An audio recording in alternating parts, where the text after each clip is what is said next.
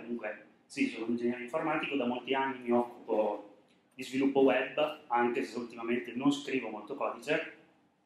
Sono entrato nel mondo WordPress più o meno da 2010 e da quel momento non sono più uscito e sono attivo su vari fronti nell'ambito di WordPress, appunto come sviluppatore di plugin, ma anche diciamo, come membro della community e tra l'altro approfitto dell'occasione anche per diciamo, fare un po' di pubblicità al meetup di Teramo che partirà proprio questo martedì, quindi se qualcuno è in zona ovviamente è più che, che benvenuto a, a partecipare.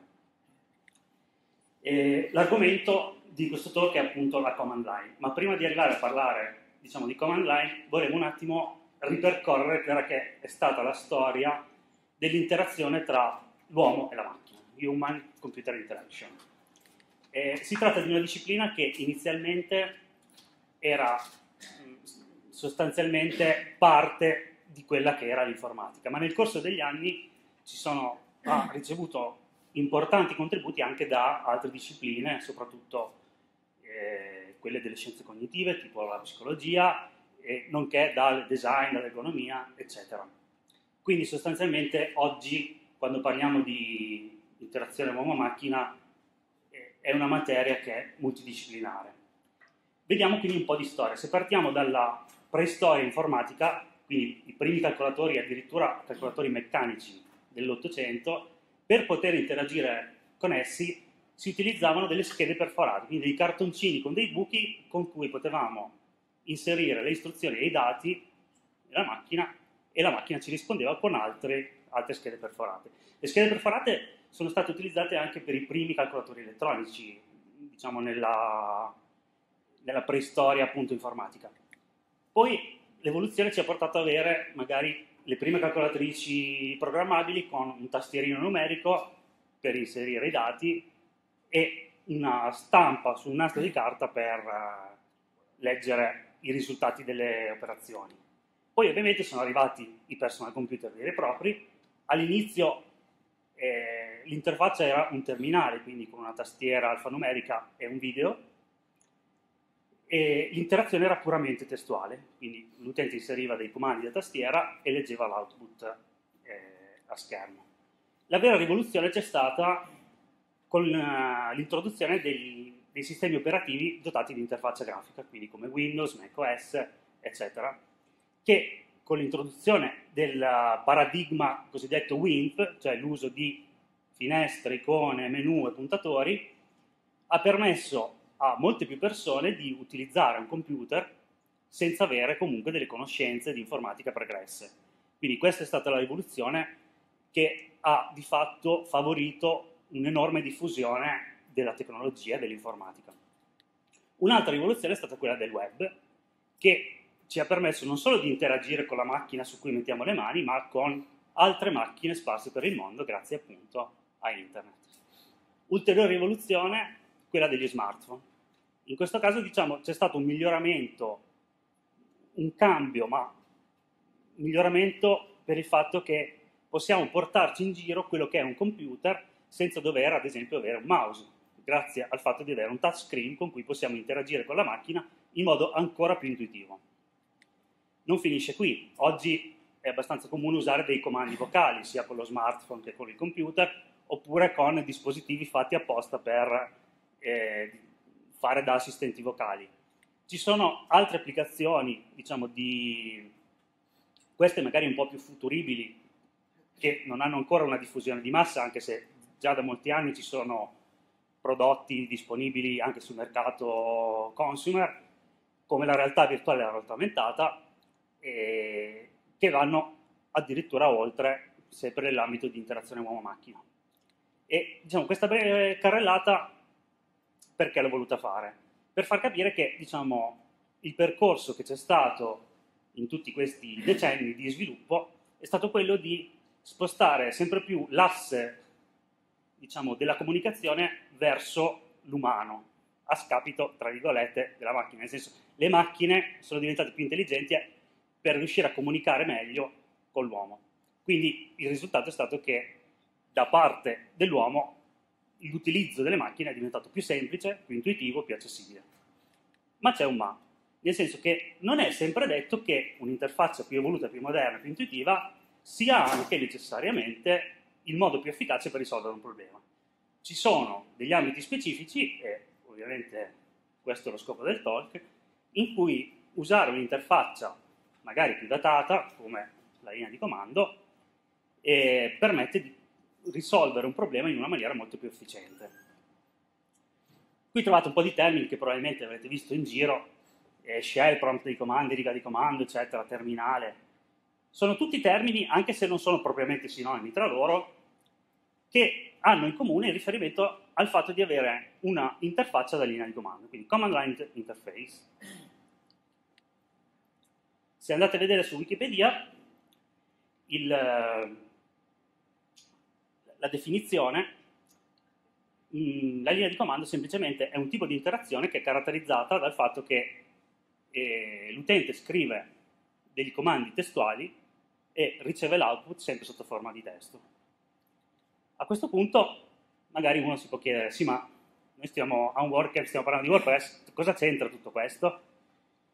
Per rispondere ho voluto un po' scimmiottare una pubblicità di qualche anno fa e, e, quindi diciamo che ogni giorno uno sviluppatore WordPress si sveglia e sa che utilizzando la linea di comando la sua vita sarà migliore perché potrà lavorare in maniera più efficiente.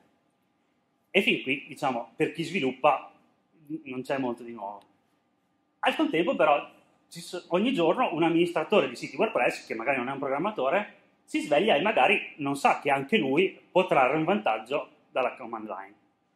Lo scopo del talk è proprio far capire che per fare un utilizzo base di questo tipo di strumenti non bisogna per forza essere dei programmatori.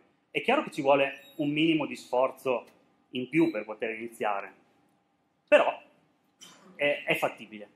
Quindi, che voi siate programmatori o no, usate la command line. E in particolare WPCLI, o se la volete pronunciare all'inglese WP CLI, che è un progetto relativamente recente nell'ambito WordPress che vi permette di interagire tramite linea di comando con un'installazione WordPress e potete fare molte operazioni.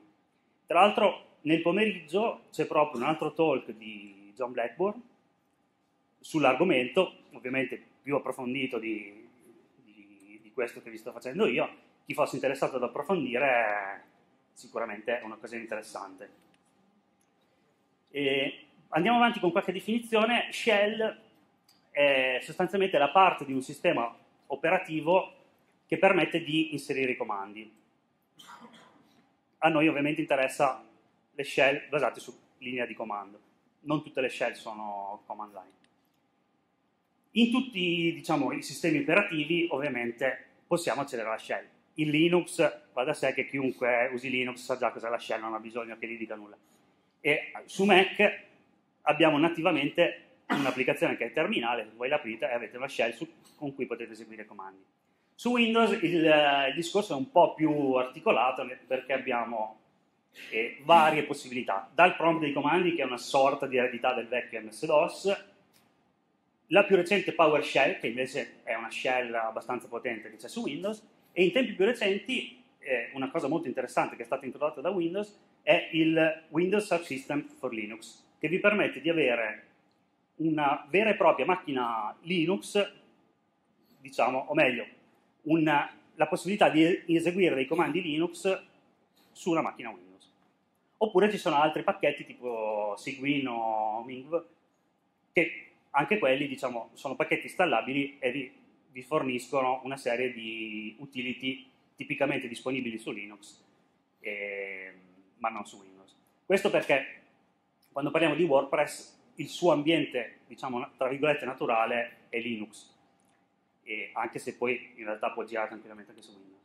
Su Linux la shell più famosa è la, quella che si chiama Bash, che diciamo rappresenta un po' lo standard de facto delle shell. Ce ne sono molte altre, anche magari più evolute, però questa è quella che si prende in genere come riferimento. Oltre ad essere una shell, è anche un vero e proprio piccolo linguaggio di programmazione perché mette a disposizione eh, funzioni, strutture di controllo con cui potete fare degli script e quindi diciamo anche automatizzare alcuni processi eccetera. E qui vi ho messo un link eh, con uh, un po' di documentazione anche. E parliamo poi di Secure Shell, e SSH, che sicuramente più o meno tutti hanno sentito nominare. SSH è un protocollo con cui potete aprire una connessione remota tra la macchina su cui state operando e una macchina remota, quindi è sostanzialmente uno shell remota e con una connessione sicura.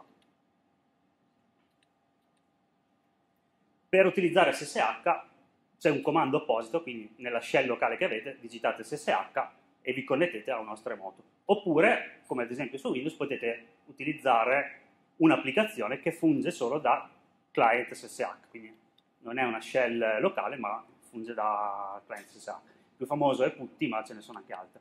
Anche da mobile è possibile usare SSH, ci sono delle applicazioni apposite basta che ve le installate e le potete usare. A me è capitato più di una volta che magari ero in mobilità, non avevo il computer dietro, dovevo fare un'operazione su un computer remoto, da cellulare mi sono connesso via SSH e ho lanciato dei comandi. E, ehm, qui vi ho messo alcune scorciatoie da tastiera, non che siano molto importanti, però magari se iniziate a usarlo potrebbe, potrebbero tornare utili, soprattutto quella universalmente più usata, il tasto tab che funge da autocompletamento e quindi eh, vi risparmia di digitare tanti caratteri perché vi autocompleta quello che volete fare. I tasti frezza vi aiutano nel navigare tra i comandi che avete già inserito e così via. Non mi voglio dilungare troppo perché il tempo è un po' tiranno. Come è fatto un comando? Allora, voi quando avete davanti una shell, tipicamente vi trovate il cosiddetto prompt, cioè una stringa che vi indica lo stato corrente in cui siete, che in genere comprende il nome dell'utente, il nome del computer o della macchina in cui siete e la cartella corrente. A questo punto voi potete digitare il comando che è composto da varie parti. Il nome del comando stesso, poi una serie di stringhe che possono essere o delle opzioni, che sono tipicamente eh, precedute da un trattino o due trattini, e poi una serie di argomenti, ad esempio il nome di un file su cui quel comando deve agire. E la, la, command line ha la caratteristica di essere un po' criptica per il fatto che usa molti simboli e se uno non ne conosce il significato magari fa fatica a leggere e anche i nomi dei comandi stessi spesso sono molto molto stringati e quindi diciamo non sono molto autoesplicativi. Qui ci vuole diciamo un attimo di eh, tempo per ambientarsi, ma una volta che mm, diciamo si entra nell'ottica poi tutto è orientato a fare le cose nel più veloce tempo possibile. Quindi ad esempio punto e punto punto indicano la cartella corrente oppure la cartella padre, la tilde indica la cartella home dell'utente, la barra è la cartella radice, il dollaro, così come in PHP, serve per accedere alle variabili. La E commerciale messa alla fine di un comando vi permette di lanciare lo stesso comando in background e così via. Il cancelletto per commentare. E il problema che probabilmente molti neofiti del, della command line hanno è, è, è, quella che è la cosiddetta sindrome della pagina bianca, o se volete in questo caso della schermata nera, nel senso che uno si trova di fronte a una schermata nera e non sa che cosa deve scrivere. Però se uno ha già più o meno in mente il comando che gli serve, e per questo diciamo c'è la documentazione, il bello è che direttamente dalla linea di comando potete vedere la documentazione di quel comando, digitando il comando man, che sta per manuale, manual, con il nome del comando che vi serve. Oppure comando con meno meno help, che è l'opzione che vi fa venire fuori l'help in linea. Questo è un esempio con il comando ls, che tra poco vi spiego cosa fa, nel caso non lo sappiate. Un po' di comandi sparsi per gestire i file, che comunque sono sempre utili, quindi qual è la cartella corrente, come si fa ad andare in un'altra cartella, creare o rimuovere cartelle, ls, quello che vedevamo poco fa, semplicemente spara fuori l'elenco della cartella in cui siete o una cartella che gli passate come argomento. Eh, ci sono dei comandi per rinominare, per spostare, per copiare, per cancellare, per cambiare i permessi, per cambiare il proprietario, per fare delle ricerche all'interno dei file. O meglio, non all'interno di file, diciamo per cercare un file all'interno di una struttura di cartelle. Più, tra poco vi farò vedere anche qualche esempio. E visto che lavoriamo in ambito web, capita anche spesso di dover fare dei trasferimenti eh, remoti, quindi da una macchina all'altra, e quindi ci sono anche una serie di altri comandi per fare questo. Mm, ad esempio wget vi permette di scaricare via HTTP o via FTP dei file. SCP un altro comando che vi fa la copia tramite SSH. Poi abbiamo dei client interattivi con cui potete interagire inserendo dei comandi FTP. E poi abbiamo rsync che è un comando molto potente che vi permette di fare delle sincronizzazioni di interi rami di cartelle, eccetera. Un concetto eh, che è abbastanza importante quando si usa la command line è quello delle, dei canali di comunicazioni che un comando ha a disposizione quando è in esecuzione. Si parla di standard input, standard output e standard error, eh, che sono appunto i canali attraverso cui un comando opera.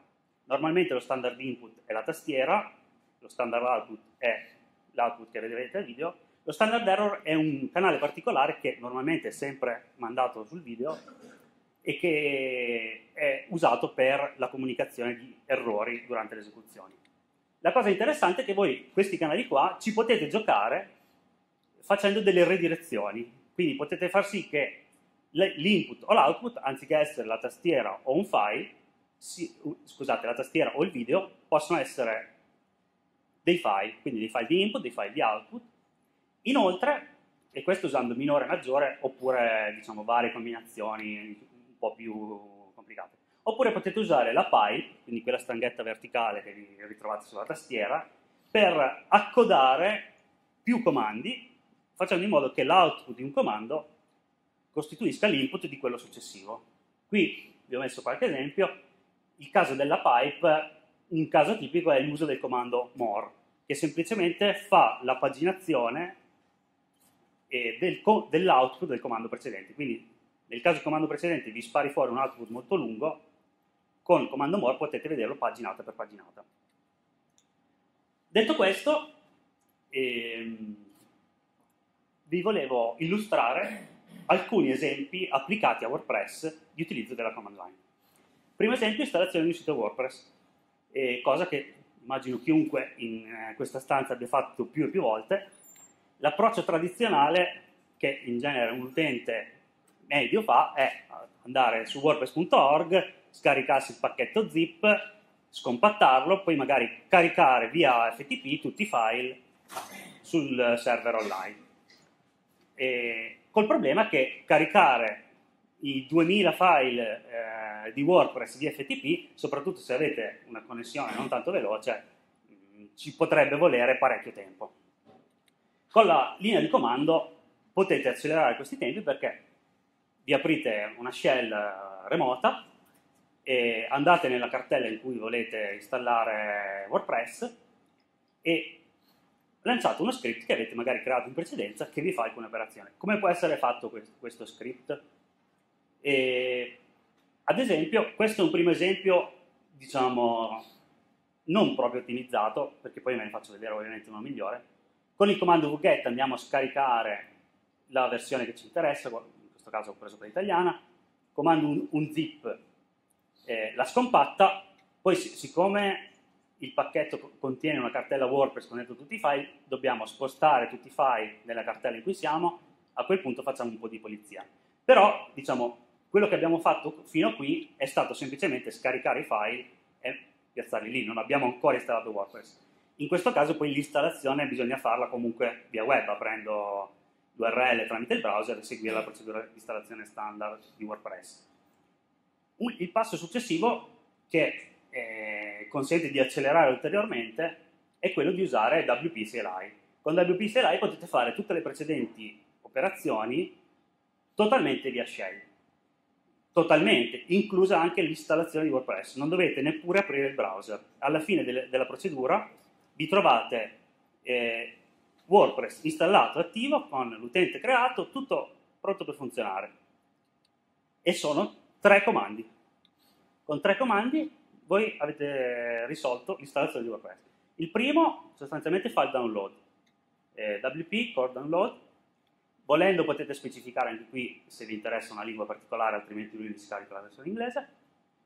Con il secondo andate a configurare il wp-config.php, in questo caso si usa cioè, nel mio esempio ho messo l'opzione meno meno prompt che fa sì che eh, l'esecuzione sia fatta in maniera interattiva, cioè lo script vi chiede tutti i dati che servono per compilare il wp-config, quindi vi chiederà il nome del database, il uh, username del database, la password del database, e per il resto fa tutto lui. Infine c'è eh, WP Core Install, anche qui in, eseguito in maniera interattiva, che vi fa la vera e propria eh, installazione di WordPress da linea di comando. Vi chiede le stesse informazioni che vi chiede l'installazione via web, quindi ad esempio eh, il nome utente la password del primo utente amministratore da creare, il titolo del sito e diciamo quelle informazioni di base che vi chiede anche l'installazione fatta via web. A quel punto lì è finito, il sito è già installato e la cosa bella è che poi voi potete anche personalizzare eh, il, la, la, il, vostro script di installazione perché magari avete, che ne so, alcuni plugin che installate sempre, potete automatizzare anche quell'installazione lì. Quindi aggiungere dei comandi che ad esempio vi installano alcuni plugin che voi usate sempre. Quindi poi vi ritrovate che con un singolo comando e diciamo, l'inserimento del minimo indispensabile dei dati avete risolto l'installazione di WordPress. Un altro esempio è quello della clonazione di un sito WordPress. Magari avete già un sito eh, operativo, volete fare una copia per fare dei test, eh, normalmente un utente medio cosa farebbe? Si prende tutti i file, li copia in un'altra cartella, poi deve prendere il database, esportarlo, fare un dump, magari tramite PHP MyAdmin, importare lo stesso dump nel nuovo database del sito di destinazione, e a quel punto effettuare il search replace. Il search replace perché ovviamente i due siti avranno due URL differenti, quindi dovrete andare a sostituire l'URL originale con quello del, della copia. Qui attenzione perché molti cascano sul problema dei dati serializzati. I, nel database di WordPress ci sono alcune informazioni che vengono salvate con una codifica serializzata, il che vuol dire che se voi fate un search replace grezzamente, tipo ad esempio sul file SQL, rischiate di andare a corrompere il formato di questi dati e quindi il risultato è che vi perdete dei dati.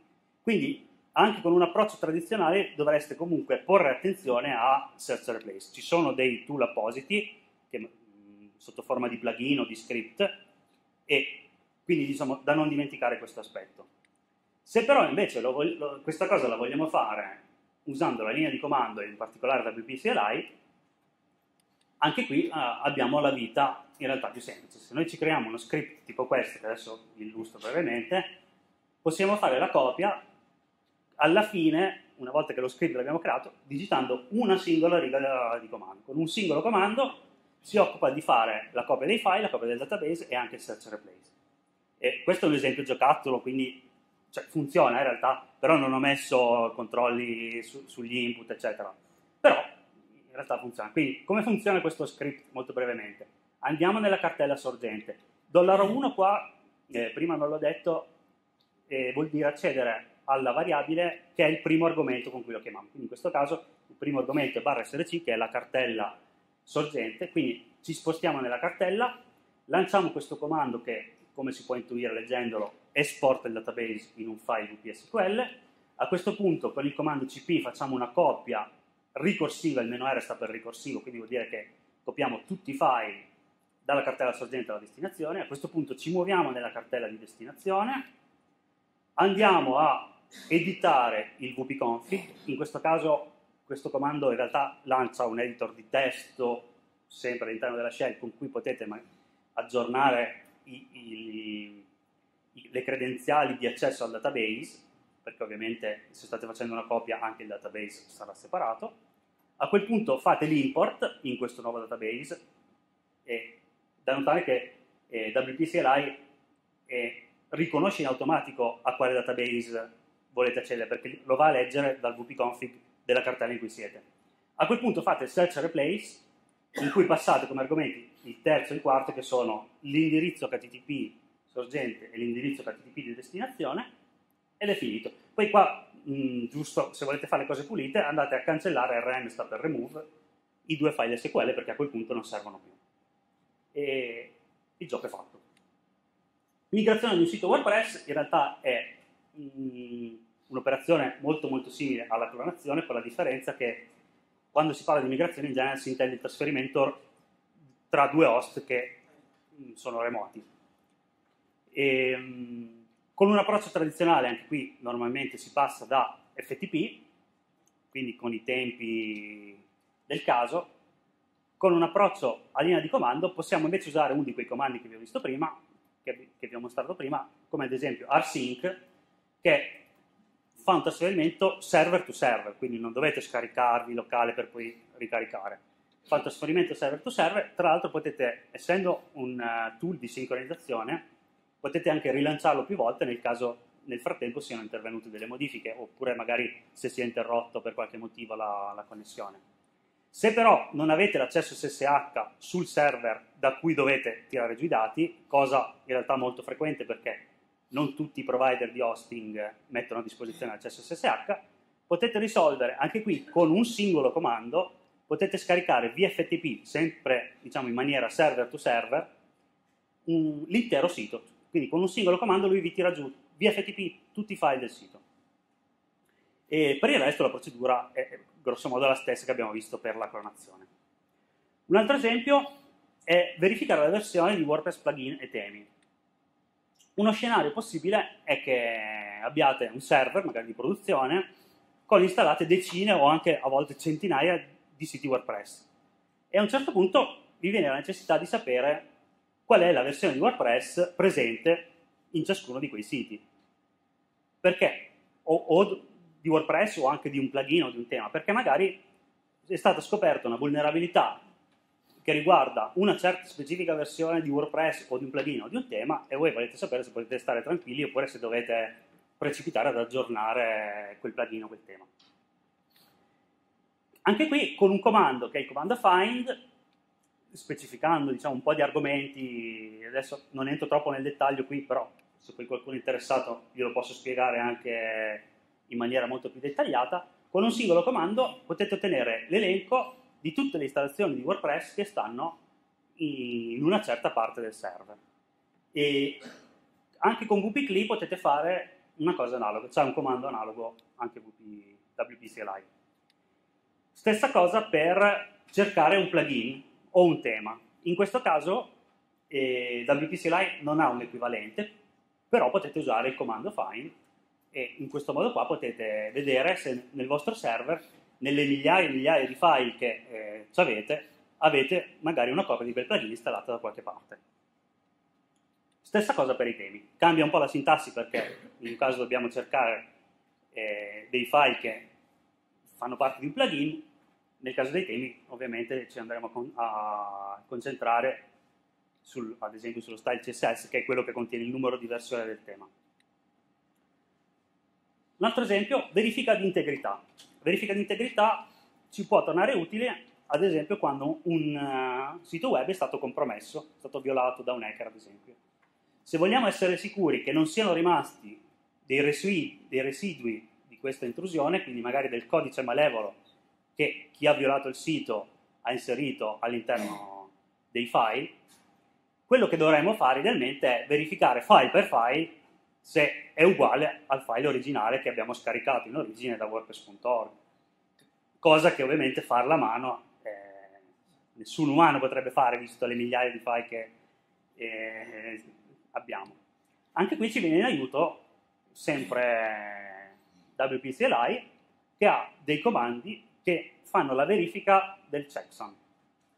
Cioè fanno un'analisi di tutti i file che avete nell'installazione eh, locale di WordPress e li confrontano calcolando un checksum che sostanzialmente diciamo è una, un codice che viene calcolato sulla base del contenuto del file, è un codice univoco, una sorta di hash diciamo, e lo confronta con la versione originale che è presente su wordpress.org e vi dice se ci sono stati dei file aggiunti o eventualmente modificati e in quel caso vi aiuta quindi ad individuare possibili residui di un'intrusione. E con WPCLI originale potete fare questa cosa eh, per il core e per i plugin, al momento non ancora per i temi, ma c'è un add-on di terze parti che è WP check, checksum, che praticamente estende WP CLI, che vi consente anche di eventualmente fare la stessa cosa sui temi, quindi verificare se i temi, ovviamente questa cosa funziona solo su quelli del, del repo di WordPress.org, non per quelli commerciali. Ultimissima cosa, che in realtà non ha una relazione stretta con WordPress, ma che probabilmente a molti di voi è capitata, la migrazione di una casella di posta elettronica, magari da un provider a un altro, dove per migrazione intendo anche proprio lo spostamento dei messaggi. In, in un approccio tradizionale, quello che un utente medio fa è aprire il suo cliente di posta, IMAP, configurarsi i due account, sorgente, quello sorgente e quello di destinazione, e poi mettersi a copiare o spostare i, i file e le cartelle. Il problema è che questa procedura diciamo, non è affidabilissima, soprattutto se magari avete giga e giga di messaggi nel, nel vostro archivio mail. E quindi se qualcosa va storto, magari vi tocca iniziare da capo. Anche qui ci viene in aiuto un tool da liga di comando che si chiama IMAPsync, che altro non fa che sincronizzare due caselle tramite IMAP. Quindi voi con un singolo comando, qui dovete passare un po' di parametri che sono i parametri di configurazione delle due caselle e le relative credenziali, username e password, con un singolo comando potete fare il trasferimento di tutti i messaggi. Ovviamente ci metterà il tempo che ci mette, però mh, arriva in fondo e non sbaglia. E nel caso sbagliasse, comunque, essendo che comunque lui fa una sincronizzazione, lo potete rilanciare più volte e lui continua da dove era rimasto. E IMAPSync poi in realtà è un programma, è un, diciamo, un tool che ha moltissime opzioni, ad esempio vi permette anche di fare la rimappatura delle cartelle, nel, cartelle di default, tipo la posta inviata, spam, cestino, nel caso in cui tra un sistema e l'altro abbiano dei nomi diversi. Ad esempio, questo è un esempio che è una migrazione da Gmail, anzi da, da una mail basata su cPanel a Gmail, in cui ci sono delle nomenclature diverse, in quel modo lì, passando i parametri giusti, potete tenere conto anche di questo. Niente, io ho finito, se ci sono domande.